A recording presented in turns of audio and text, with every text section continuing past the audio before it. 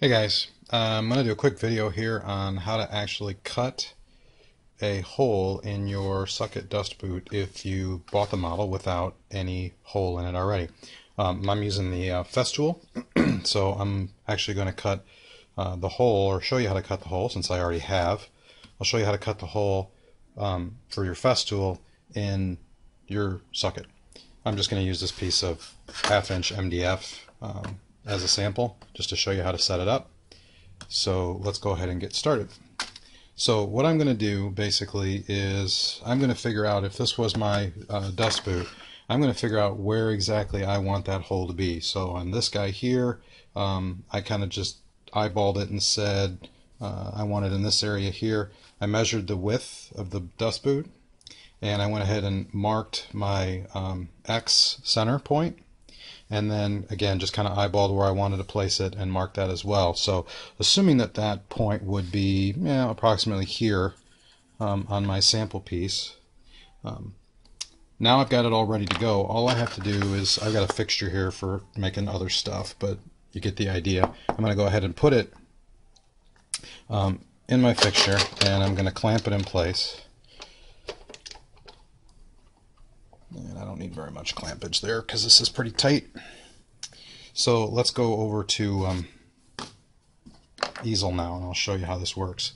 So this is my center point and when I measured my dust boot, uh, this I want to say was, if I'm not mistaken, about uh, 30, 37, 34, something like that. I'm trying to do this one-handed, I apologize. So let's just call it 32.7, and I got that basically from measuring this guy here, um, and then just went a little tight, right? So there's, there's, let's just call it 34, so I'm going to call it 33 just to give myself essentially a millimeter. So I'm going to make a 33 millimeter hole in the center of the dust boot, just like I did here, 33 millimeter.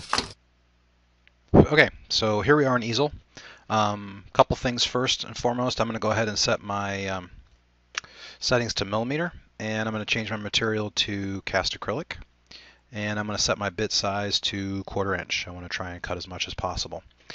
Next, what I'm going to do is go ahead and choose the circle. And here's my circle. Now you notice it's in, it's doing a fill, and I don't want to do that. Um, so I'm going to change it to uh, an inside because I wanted to cut my 33 millimeter circle. Um, my bit's going to be cutting on the inside, leaving essentially a 33 millimeter hole in my boot. Um, I'm going to go ahead and uh, down here in the shape settings, I'm going to set this to 33 millimeters by 33 millimeters, and now I have a uh, quote unquote perfect circle. And now from a position standpoint, remember I'm going to um, reference the cut based on the bit. So if I were to cut as is, um, it's going to cut you know somewhere north of 33 or 25 millimeters from my start position. I don't want that. So what I'm going to do is I'm going to choose the start position here and I'm going to set both of these settings to zero and you'll notice uh, it moved my circle down here to the lower left corner. It's Some of it's in the dead space, that's okay. I'm going to set my bit here and then it's going to cut that circle uh, relative to where I put my bit. So if I put my bit directly on that spot we marked on my MDF, it'll just simply move outside and cut. Um, so again, I'm going to go ahead and cut my uh, entire circle out. My Material thickness is about 9 millimeters. You want to measure yours to be sure. So I'm going to go ahead and tell it to cut all the way through.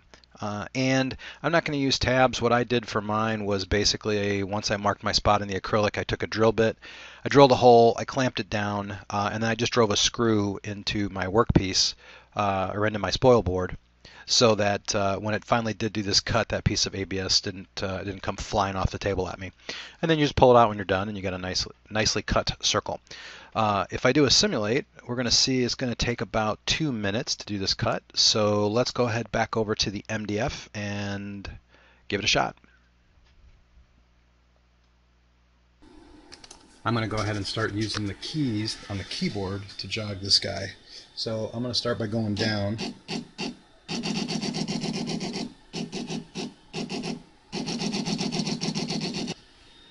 That was pretty slow.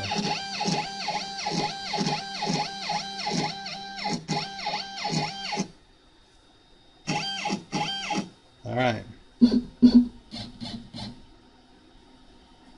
And again, I'm eyeballing it here, so it may not be exact. but you get the idea. So I'm going to set my work home position to be that center of my hole. I'm going to confirm my home because I've already homed it. I'm going to raise the bit. I'm going to go ahead and turn on the spindle. And I'm going to carve. And so what it's going to do is cut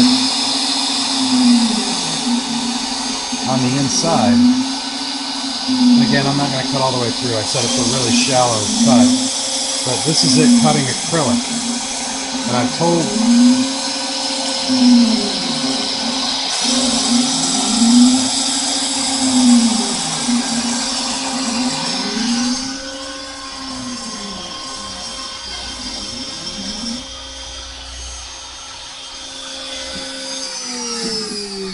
Alright, so I didn't cut all the way through, and you'll notice it was cutting very slowly. That's because I actually set my material up as cast acrylic. And once it's done cutting that out, you will have the hole for your vacuum hose in your dust boot. Takes a little bit of pressure to get it in there, which is what I want. I actually have to fight it with two hands a little bit, which I can't do while I'm holding this camera. But that actually cuts my hole in the dust boot and you're good to go. Thanks for watching.